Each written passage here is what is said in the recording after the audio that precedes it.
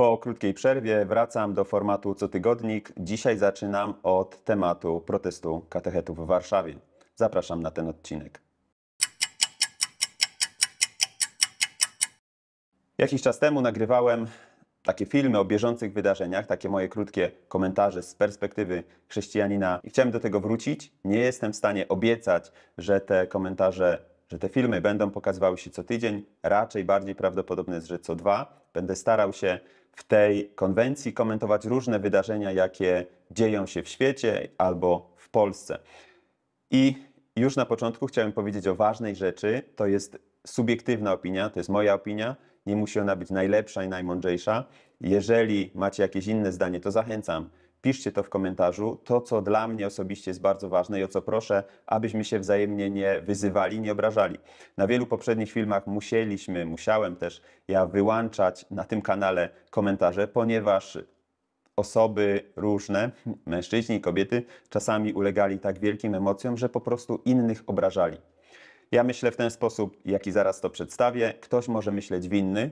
Myślę, że uważam, że powinniśmy szanować swoje poglądy i rozmawiać bez atakowania kogoś, bez obrażania. To jest najważniejsze. Jeżeli jesteśmy chrześcijanami, jeżeli deklarujemy się jako chrześcijanie, to powinniśmy o tym pamiętać. A jeżeli nie jesteś chrześcijaninem, ale zaciekawiło Cię to, myślę, że kultura też wymaga od nas tego, abyśmy do siebie podchodzili z życzliwością. Myślę, że to ważna zasada w ogóle w przestrzeni internetowej, bo widzimy bardzo dużo hejtu, bardzo dużo ataków, bardzo dużo niszczenia innych osób i nikt z nas nie chciałby być niszczony przez innych, więc starajmy się też innych nie niszczyć.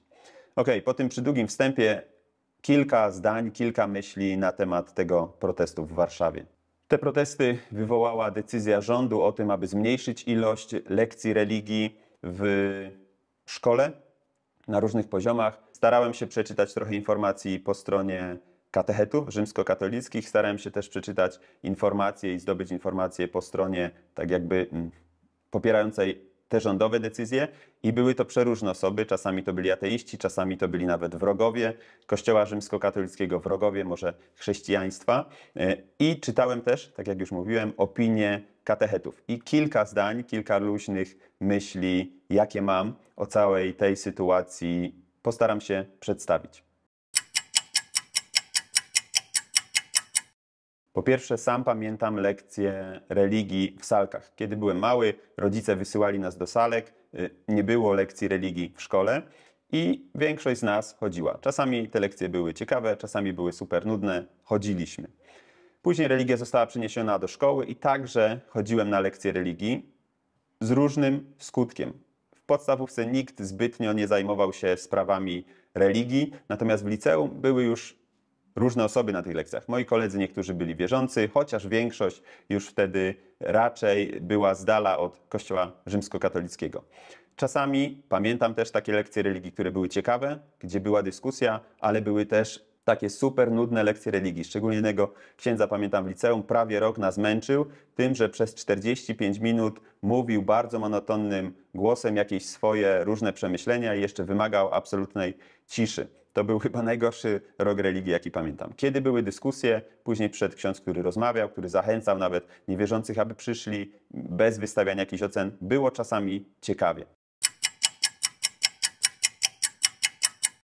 Nie jestem rzymskim katolikiem, moje dziecko nie uczęszcza, moje dzieci nie uczęszczają na lekcje religii. Mam jedną córkę w liceum, drugiego syna w szkole podstawowej. Wiem, że ich rówieśnicy uczęszczają, chociaż w liceum bardzo mało osób uczęszcza na lekcje religii, w szkole podstawowej jeszcze większość, ponieważ z tego co się dowiedziałem od znajomych, bardzo zależy im na tym, aby dziecko przystąpiło do komunii. Później takim magnesem lekcji religii jest bierzmowanie, chociaż ostatnio też dowiedziałem się od znajomego księdza, że bierzmowanie nie jest dzisiaj konieczne do ślubu. Dawniej pamiętam, że tak, cały czas się motywowało młodych ludzi, przetrwaj na tych lekcjach religii, chociaż do tego mm, bierzmowania, aby później mieć ślub y, rzymskokatolicki, aby móc mieć taki ślub. Ja byłem od młodych lat mocno zaangażowany w Kościół, mnie nikt nie musiał mobilizować takimi rzeczami. Ja byłem, po prostu chodziłem na bardzo dużo spotkań i te lekcje religii, które mieliśmy w salkach, nie były dla mnie żadnym problemem, ale byłem ewenementem. Większość ludzi podchodziła do tego inaczej. I ponieważ moje dziecko nie uczęszcza na lekcje religii, to mam taki jakby dysonans. Wiem, że są y, chrześcijanie ewangeliczni, protestanci czy biblijni, którzy popierają lekcje religii w szkołach, którzy mówią, Polska to jest kraj chrześcijański i nie ma rządów tak naprawdę neutralnych, jest albo chrześcijański, albo atakujący nas. Nie chcę dzisiaj w to wchodzić. Chcę powiedzieć o swoich spostrzeżeniach jako ojca. I ten kolejny punkt, już chyba czwarty, jest jakby dla mnie kluczowy w całej tej dyskusji. Pamiętam historię, kiedy mój najstarszy syn chodził na lekcje religii i czasami księża, których znałem, niektórych y, nawet lubiłem, po prostu prowadzili te lekcje w bardzo nudny sposób albo opowiadali dziwne rzeczy. Nie mówię to, aby krytykować księży, bo ja, jako mąż i ojciec dzieci, mam świadomość, że po pierwsze, nie każdy ksiądz nadaje się do pracy z dziećmi. Po drugie, nie każdy ksiądz nadaje się w ogóle do bycia nauczycielem. Niestety, większość jest wpychanych w to trochę pod przymusem. I po trzecie, jeżeli mężczyzna, dorosły mężczyzna, nie ma swoich dzieci, to musi mieć niezwykły dar, aby się dogadać z tymi dziećmi. Większość dorosłych, którzy nie mają dzieci, mają ogromne opory w rozmowie z dziećmi. Ja od 2005 roku jestem, oprócz tego wszystkiego, co robię zawodowo, jestem też trenerem, pracuję głównie z dziećmi i widzę, że w mojej pracy najbardziej mi pomogło to, że sam byłem ojcem. Wiem, jak się rozwija dziecko, jak do niego dotrzeć w wieku, kiedy dziecko ma 2 lata, 4, 6, 8, aż do dorosłości. Jeżeli ktoś nie ma dziecka, tak jak księża rzymskokatolicy, jest im bardzo trudno to zrobić. Oczywiście teraz jest coraz więcej katechetów, są katechetki i tu już jest sytuacja inna, mm, być może lepsza, nie wiem. Nie znam każdego z katechetów. Mówię tylko o religii prowadzonej przez księży. Widziałem i słyszałem o wielu takich no, problemach wychowawczych. Punkt piąty, y, może najważniejszy, ale na piątym miejscu, nie wiem dlaczego. Ja uważam, uważam to od y, wielu, wielu lat, w zasadzie od momentu chyba, kiedy urodził się mój pierwszy syn, że za wychowanie dziecka odpowiada rodzic. I znam opinie innych osób, którzy mówią: OK, ale y, nie wszyscy tak myślą. Są tacy rodzice, którzy wysyłają na lekcje religii, aby dziecko się tam coś dowiedziało. Są tacy rodzice, którzy mają problem z wychowaniem. Y, wybaczcie, przepraszam, jeżeli kogoś urażę. Do mnie to nie dociera. Ja nie jestem w stanie tego zrozumieć ani sercem, ani intelektualnie. Y, uważam, że jeżeli ktoś ma dziecko, to jest odpowiedzialny za jego wychowanie. Także z punktu widzenia chrześcijańskiego szczególnie być może z punktu widzenia chrześcijańskiego, jeżeli kogoś Bóg obdarował dzieckiem, to prawdopodobnie go później zapyta, jak wychowywałeś to dziecko. Nie wiem, czy tak będzie, to jest e, trudny temat teologiczny. W dużym uproszczeniu chcę przekazać to, że moim zdaniem każdy chrześcijanin jest odpowiedzialny za wychowanie swojego dziecka.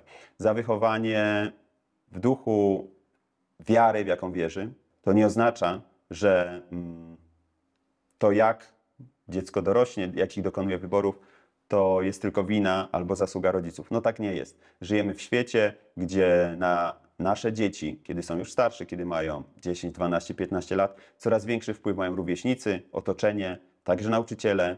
Mm, w liceach szczególnie to widać, kiedy wspaniali nauczyciele, którzy mają pasję do jakiegoś przedmiotu, potrafią zaszczepić w dzieciach też tak naprawdę miłość do pewnych y, przedmiotów i kształtują w jakiś sposób mocno ich życie, bo dziecko wybierze taki kierunek studiowania, taki, zainteresuje się takimi zagadnieniami, a nie innymi. To już w liceum, kiedy nasze dzieci są starsze, mm, ale cały czas, jeżeli rodzic utrzymuje właściwą relację z dziećmi, moim zdaniem on ma duży wpływ na to, jak dziecko widzi rzeczywistość wokół siebie. Przede wszystkim jak dziecko widzi Boga, jaki ten Bóg jest. To od rodzica zależy y, i trochę od jego poglądów też y, na chrześcijaństwo, czy, ten, czy tego Boga będzie pokazywał jako mm, tyrana, czy jako Boga, który jest miłością. Jako Boga, który może jest jakimś policjantem albo księgowym, który cały czas chodzi za nami i sprawdza, co złego zrobiliśmy, a może będzie go przedstawiał jako wspaniałego tatę, tak wiele zależy od rodziców, tak wiele zależy od naszej wiary, od tego, jak my wierzymy, jakiego Boga my widzimy, jakiego Boga odnajdujemy. Nieważne, czy jesteś rzymskim katolikiem, czy jesteś chrześcijaninem ewangelicznym, biblijnym, protestantem, chrześcijaninem obrządku wschodniego, generalnie wierzymy w wiele rzeczy bardzo podobnych i jak wierzą nasze dzieci, to zależy w głównej mierze od nas. Wśród chrześcijan ewangelicznych, tak jak u nas, w społeczności są szkółki dla dzieci, są jakieś nauczania dla dzieci, ale nigdy nie odważyłbym się chyba nawet tak pomyśleć, że za wychowanie mojego dziecka jest odpowiedzialny y, ktoś, kto prowadzi szkółkę biblijną, ktoś, kto prowadzi zajęcia dla dzieci, czy no, ktokolwiek inny, za wyjątkiem mnie. Tak jak mówiłem, to wcale nie oznacza, że skoro ja wierzę, moje dziecko będzie na 100% wierzyło w Boga, będzie szło tą samą drogą. To zależy od wielu, wielu czynników, o których dzisiaj nie jestem w stanie powiedzieć, bo chcę, aby ten film był krótki. Ale ten mój pogląd od wielu lat, w zasadzie odkąd, tak jak już mówiłem, odkąd stałem się ojcem, rzutuje na patrzenie moje na lekcje religii. Kiedy mój najstarszy syn chodził na lekcje religii i dziwne rzeczy się tam czasem działy, nie jakieś groźne, nie jakieś przestępstwa, bo niektórzy tak mogą myśleć, e, to ja mu tłumaczyłem w domu, jak powinna wyglądać nasza relacja do Boga, że ksiądz mógł tak powiedzieć, ale on, nie wiem, nie ma syna, ja mam syna, ja to widzę inaczej. I staraliśmy się zawsze rozmawiać w takiej atmosferze pokoju, miłości, bez jakichś awantur, bo nie przywiązywałem wielkiej wagi do tego, co się dzieje na katechezie. Gdyby było coś bardzo dziwnego, były takie elementy, pojawiły się, kiedy moja córka chodziła do szkoły yy, i myśmy ją wycofali z lekcji religii, bo też wyszliśmy z Kościoła Rzymskiego, no to wtedy miałem trochę takich napięć, yy, ale to wszystko starałem się tłumaczyć dziecku. Ale to dotyczy nie tylko religii, to dotyczy różnych przedmiotów. Kiedy dziecko przychodzi ze szkoły z jakimiś informacjami, że nauczyciel powiedział tak i tak, rozmawiamy o tym, jaki to ma wpływ na wiarę, czy my to tak widzimy, czy to widzimy inaczej. Ale identyczna sytuacja jest, kiedy dziecko przychodzi i opowiada nam o swoich rówieśnikach, że mój kolega albo moja koleżanka zrobili tak, to zastanawiamy się, ok, czy to jest dobre, czy to jest złe, jakie to może mieć konsekwencje.